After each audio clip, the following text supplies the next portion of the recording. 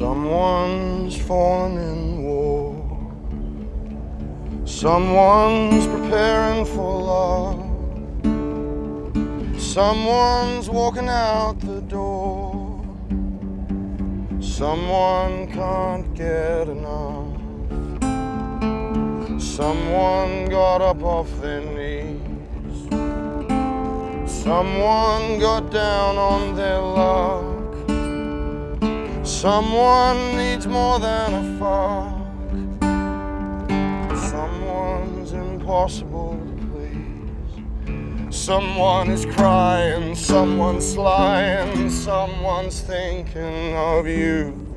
So, how's your Bluesfest going so far? It's going well. It's uh, I always love coming here. I haven't been here for 10 years and it was over at a different place. But to get a collective of uh, people who love music this much all in the same spot, it's awesome. You know, you can go and watch bands, you can just walk around, but the look on people's faces, uh, and they're all having a good time. Their feet may be wet, but they're having a good time, and that means I'm having a good time. So it's, I love it. Robert Plant last night. yeah, highlight? Yeah, I think so. Steve Smythe. You know, Robert Plant, Steve Smythe. You know, Really? absolutely. Like, yeah. Nice. Well, 10 years since you last were at Bluesfest, what's the differences that you've noticed this time around? It's bigger, and uh, the tents are bigger.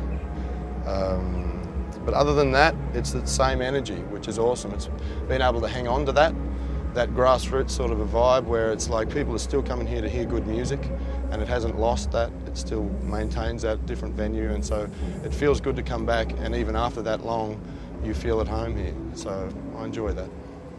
We've got to talk about your t-shirt, Stop Adani, you've Yeah. been quite involved in. Can you tell us a bit about your work with that?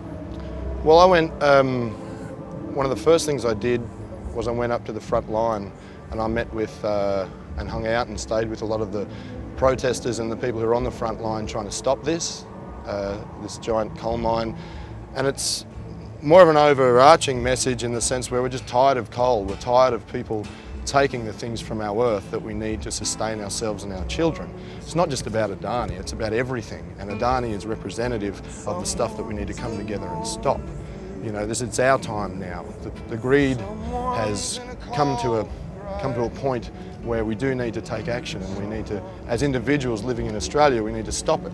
Someone is lying, someone lying, someone's thinking of you. Someone's dreaming or else deceiving, leaving a finger on the trigger of truth.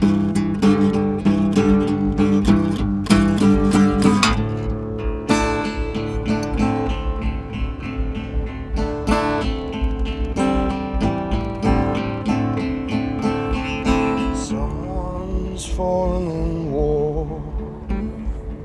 Someone's preparing for love.